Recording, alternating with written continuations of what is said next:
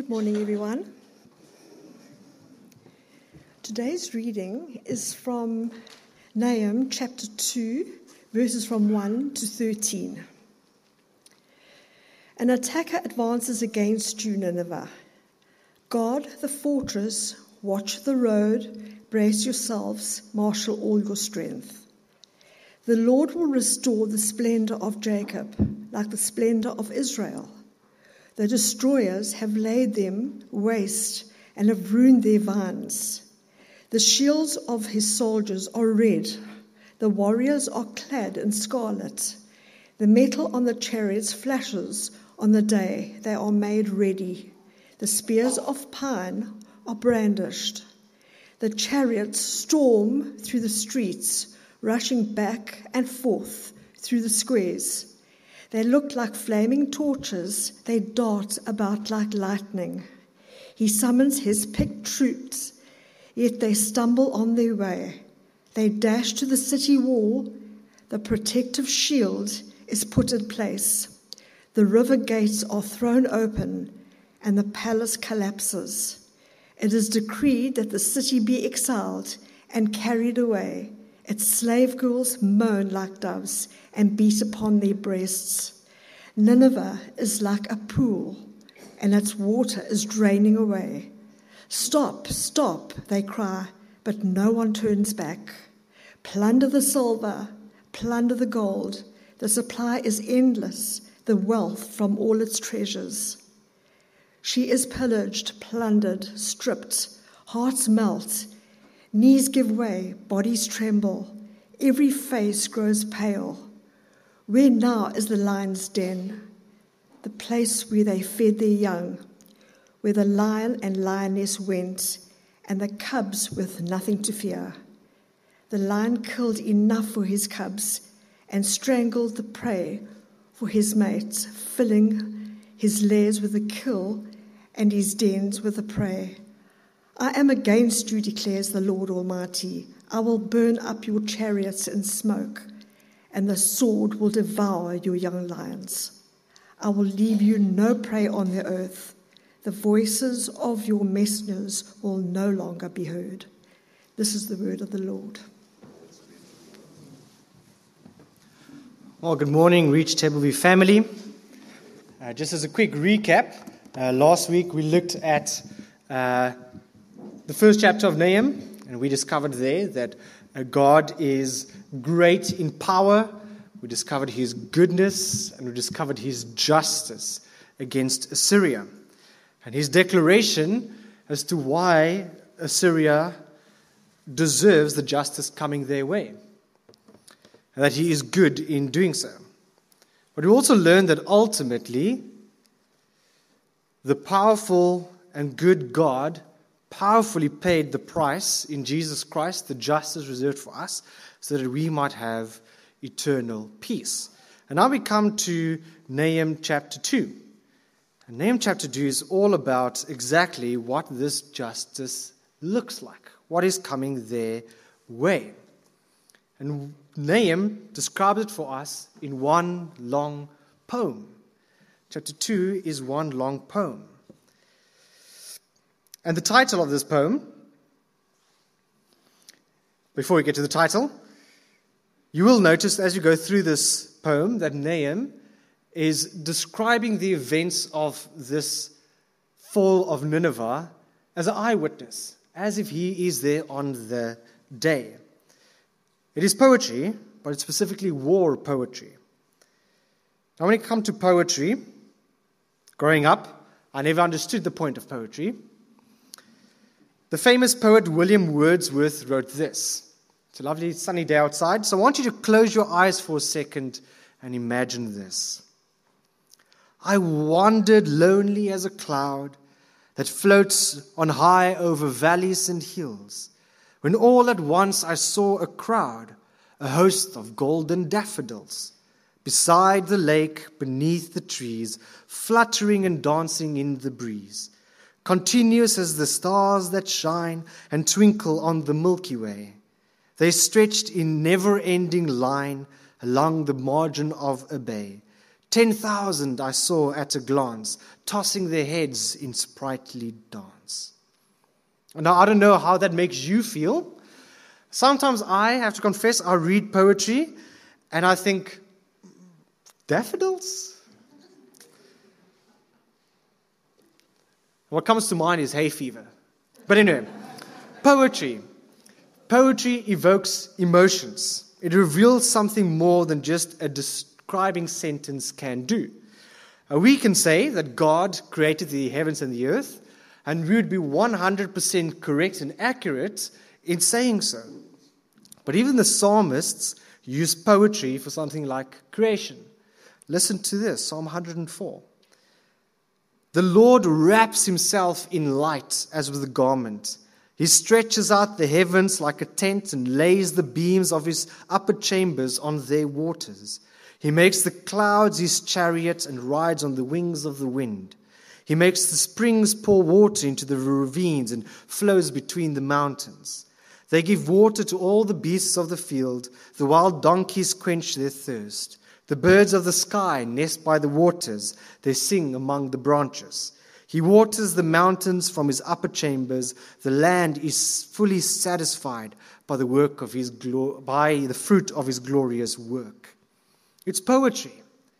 It is beautifully written. But sometimes even beautiful poetry shows a horrific message. Sometimes even beautiful poetry shows a horrific message. Uh, we find this specifically in war poems. that is exactly what we find in Nahum chapter 2. We find a war poem. It is beautifully written, but it shows a horrific message. And the title of this poem is found in verse 1 An attacker advances against you, Nineveh. An attacker advances against you, Nineveh. It says up front what's going to happen. The poem from William Wordsworth, the title for it is Daffodils. So it says up front what is to be expected. And in this poem, we see two main themes, two passages of this poem. It's divided into two. Nahum divides it into the first, the advance, and secondly, the taunt. The advance in verse 1 to 10, and the taunt in verse 11 to 13. So let's start with the advance. The poem opens with a commanding line. Look at verse 1. God commands Nahum the following Guard the fortress, watch the roads, brace yourself, marshal all your strength. This is the same language used when God speaks to Job. God comes in this giant thundering uh, storm and commands Job to brace yourself like a man because I am approaching you. The same command is given to Nineveh. Brace yourself, marshal all your strength because I am going to approach you. And what is it that they need to brace for? Well, that's what verse 3 to verse 10 is going to go in depth in. Verse 3 to verse 10 is going to give us this unfolding scene of the attack on the city of Nineveh. Like a movie montage, it shows the different scenes of the events. So, verse 3 to verse 10 is going to show us these three scenes happening on the destruction. Nahum does these three scenes in the attack, the collapse, and the exile. The attack, the collapse, and the exile. So let's start with the attack. Verse 3. The shields of the soldiers are red, the warriors are clad in scarlet. The metal on the chariots flashes on the day they are made ready. The spears of juniper are brandished. The chariots storm through the streets, rushing back and forth through the squares. They look like flaming torches. They dart about like lightning. Nineveh summons her picked troops, yet they stumble on their way. They dash to the city wall. The protective shield is put in place. I want you to notice the poetry.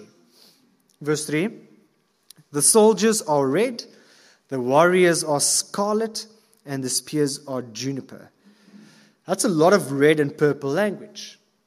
Well, firstly, The Babylonians' colors were red and purple. That was their uniform, that was their kit. And that was known throughout the ancient Near East. They painted the front of their shields red to incite fear into their enemies. But what's interesting is that this was written about 30 years before the actual attack. And everyone knows in that time that Babylon alone was recognized as the red and scarlet and purple nation. This was written 30 years before the actual attack. Look how accurate it is. Well, because God is the one who sets the scene, and so it will happen. Now, not only does this link to the Babylonians, it's poetry. So there's more than meets the eye. Nahum is also in using those colors describing the scene of the attack. It is brutal. At this point, they have run into the city of Nineveh and they have butchered. The aftermath is one of shields, spears, and armor covered in blood. It was a bloodbath. But there's more. We read that the attack came with fire, and it was like lightning. We know that Babylon attacked at night time with flaming torches. And it was completely unexpected and it was swift, like lightning at night time. We read in chapter 1 they will be entangled among the thorns and drunk from their wine. They will be consumed like dry stubble. It was completely unexpected and it was swift. Is this not what the Lord has decreed? And so shall it be. This is the attack. Let's look at the collapse. Verse 6. The river gates are thrown open and the palace collapses. Right, the Tigris River runs through Nineveh, past their massive, indestructible palace. And on the night Babylon attacked, we read in their records of, of Babylonian uh, library that storming rain poured down and flooded the Tigris River, sinking a portion of the foundations of the palace, giving the Babylonians an opening to attack the palace. In chapter 1, verse 8, we read, But with an overwhelming flood, he will make an end of Nineveh. Verse 6 reads, The river gates were thrown open, and the palace collapses. Is this not what the Lord has decreed? So, is this not what will come to pass? And thirdly, the exile. Look at verse 7. It is decreed that Nineveh be exiled and carried away. Her female slaves moan like doves and beat on their breasts. Nineveh is like a pool whose water is draining away. Stop, stop, they cry, but no one turns back. Plunder the silver, plunder the gold. The supply is endless, the wealth from all its treasures. She is pillaged, plundered, and stripped. Hearts melt, knees give way, bodies tremble, every face grows pale. No one came to their aid. We read in chapter 1 again, verse 12. Although they have allies and are numerous, they will be destroyed and pass away. No one came to their aid. And we know that the Babylonians took it all. They plundered everything and anyone who wasn't killed was deported away. With melting hearts, shaking knees, trembling bodies, and pale faces, they looked on as Nineveh went down in flames. It must have been a truly horrific scene. They plundered the gold, they plundered the silver, the supply was endless. It is recorded in the Babylonian records that the treasures they took from Nineveh was a quantity beyond counting a quantity beyond counting. By this time, Nineveh has destroyed northern Israel. And northern Israel wasn't bad off, they were well off. They destroyed Memphis, the capital of uh, northern Egypt. They destroyed the city of Damascus, the oldest city in the world. This time, the capital of Syria. They've destroyed Babylon before. They destroyed Thebes, the capital of southern Egypt. There was no political power greater than Nineveh. There was no city grander than the city of Nineveh. All the wealth went into this city. This city was the pool where all the streams of all the conquered nations would flow in. But like a broken pot strains, drains water, so their people and their belonging were drained away on that day. An attacker advances against you Nineveh. They have attacked, they have collapsed, and they have been exiled. And now Nahum turns to a taunt song, a mock, a war chant to ridicule Assyria. Look at verse 11. Where now is the lion's den, the place where they fed the young, where the lion and the lioness went and the cubs with nothing to fear? The lion killed enough for his cubs and strangled the prey for his mate, filling his lairs with the kill and his dens with the prey. Nahum is describing Assyria as a lion. Firstly, because on their walls, on their pillars, in their palaces, were depictions of kings holding up lions. They saw themselves as the lion of the land, and the city of Nineveh was their den. Assyria was the predator, and all the nations was their prey. They killed enough, they filled their lairs and dens with the remains of other nations. They accumulated all their wealth in Nineveh. This was their safe place. This was their fortification where they felt like they had no fears. And so Nahum mocks them, rightly so. He taunts them. Where now is your den? Where now is your safe place? Where now is the place where you thought you had no fears? Where now is all your riches? Like a pool of water, all their endeavors fed the pool with the riches and with the power. But now the broken pool is drained away. So, where now is your den? It is gone. It is gone. Why is it gone? Because look what verse 13 declares. Verse 13 I am against you, declares the Lord Almighty. I will burn up your chariots in smoke, and the sword will devour your young lions. I will leave you no prey on the earth. The voices of the messengers will no longer be. No longer be heard. This was final. There will be no more. Someone told me after the first service that after Babylon attacked Nineveh, the first time people ever found and discovered the ruins again was in the mid 1800s. No one knew where it was by then. It was so ruined, it was gone, it was final. Woe to the nation to which the Lord Almighty declares, I am against you. It is a dreadful thing to fall into the hands of the living God. You do not want to be commanded to brace yourself because the Lord of hosts approaches. I am against you, declares the Lord Almighty. It's poetry. The beautiful poetry presents a horrific reality. But is it horrific? Wasn't Nahum meant to comfort Judah? Weren't we supposed to read this and be encouraged? When we read about the fall of the northern kingdom by the Assyrians, before this, read about it in the book of Jeremiah, northern Israel's destruction was described in the same way. When you read about Judah's destruction and the fall of Jerusalem by the Babylonians, it was described in the same way. When you read about the fall of Babylon in Isaiah, it was described in the same way. Both Israel, Judah, and her enemies face the same judgment in the same way. Why? What is behind it? The judgment is not racial, it's not because of an ethnic group, because Israel and Judah receive the same judgment described in the same way. The problem is sin. The problem is sin because fundamentally sin is the rejection of God. And when you reject God, God is against you. The northern kingdom rejected God, and so God was against them.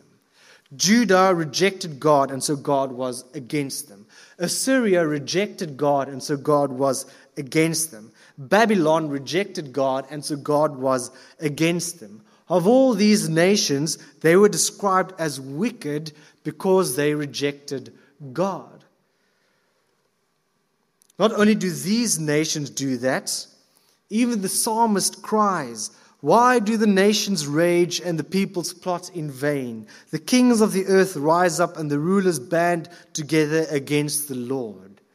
All nations have rejected God, and so God is against them. But this is also true of the whole world.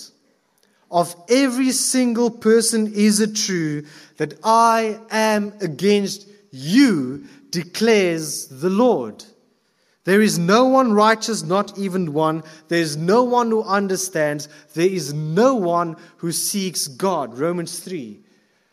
We have all fallen short. We have all rejected God. And so, of each and every single one of us, it is declared, I am against you, declares the Lord.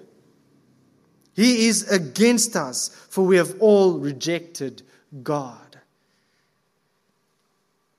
Nahum 2 is beautifully written, but there is a horrific reality. Is it horrific? Well, we are certainly no longer dealing with daffodils. This is destruction. This is judgment. It is horrific. We should have melting hearts. We should have trembling bodies. We should have pale faces at the words, I am against you, declares the Lord Almighty. And so again, we face the question how is it that Nahum is comforting? How is it that we're supposed to find encouragement and hope in this? If the living God, the maker of heaven and earth, the one who declares to sinners, Brace yourself, for I am against you, if he is against us, what hope is there? What's the point? We might as well end it all now because there's no hope before a living God that is against us. But come with me to verse 2 of chapter 2. Verse 2 reads The Lord will restore the splendor of Jacob like the splendor of Israel, or over and above the splendor of Israel. Though destroyers have laid them waste and have ruined their, their vines, the Lord will restore the splendor of Jacob.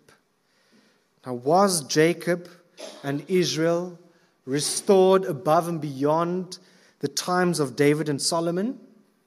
No. Jerusalem was rebuilt after the exile. The temple was rebuilt. And the first thing Israel does is mourn because it wasn't even a fraction of the glory and splendor it used to be. So, where did God do this restoration? Where did God restore the splendor of Jacob? Where did He restore the splendor of Judah? If He is so against us, if He exiled even Judah, where is this restoration? Well, we know that the Lord God did approach. And the Lord came as the son of Abraham, the son of Jacob, the son of Judah, the son of David, who is called Jesus, the Messiah, the Son of God. The one who declares that the kingdom of God has come, the one who was praised as the King of Israel. This Jesus came and the God who was against us, he became against Jesus for us, so that we might be called children of the living God, so that we who put our faith in him might be called and become the ones God for us, his people. Jesus came and God was against us. But Jesus became the one who God was against, so that we might be called children of the living God, so that we who put our faith in him might be called, might become God for us, his people. Jesus took that I am against you declaration fully on his shoulders alone on the cross so that we can say with confidence and with certainty if God is for us, who can be against us? If we believe in Jesus Christ, no longer is God against us. For on the cross, Jesus Christ fully endured God's decree I am against you. The Lord has restored his people, and he has done so through Jesus Christ. This is beauty. This is power. This is splendor. So, why does Nahum write such a horrific reality with such beauty? How can he expect people to be comforted by it? Well, for the very same reason that we look to the horrific reality of the cross and say, Behold the beauty of the cross that restored a people to God. Behold the horrific atonement of Jesus Christ and rejoice in it as beauty because God declared to you, I am against you. But Jesus, the Son of God, came and God was against Jesus, so that now, finally, in Jesus Christ alone, God is for us. We are His restored people. The blood and the red and the scarlet and the sword and the spear and the fire was coming your way because God declared, I am against you. But oh, what splendor and oh, what beauty that in Jesus Christ alone God is for us. Yes, the world is evil. They go about living like they have nothing to fear. They plunder and they kill. The world is a lion filling his lair with the kill and his den with the prey. We live in this world. We are familiar with the suffering. We are familiar with that pain. But there is no greater news in all the world. There is no more important thing for you today than to know with all your heart and all your soul and all your mind and all your strength that Jesus Christ interceded on your behalf, that God was against Jesus, so that now in Jesus, God is for you. And if that is true, if that is real, if that is the great crux of the gospel, if that is the beautiful message that Paul records his suffering as worthless in comparison to, if that is the reality I have and the reality I hold on to, that if God is for us, then who can be against us? Who shall separate us from the love of Christ? Shall trouble or hardship or persecution or famine or nakedness or danger or the sword? No. In all these things we are more than conquerors through him who loved us. For I am convinced that neither death nor life, nor angels nor demons, nor any powers, neither height nor depth, nor anything else in all creation will be able to separate us from the love of God that is in Christ Jesus our Lord. Amen. For in Him alone, God is no longer against us, but God is for us. There is not anything we have done to deserve this, but solely by the love of Jesus Christ. And there is nothing greater, there's nothing more important that your life and that your daily reality depends on than this truth. That God was against you. But that in Jesus Christ, God was against Jesus. And so now we stand with God for us in Jesus Christ. Let's pray.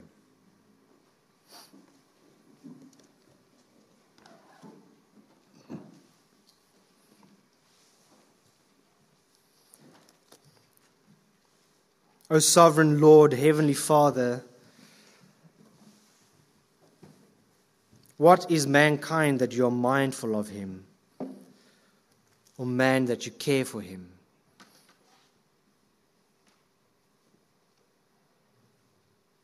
What grace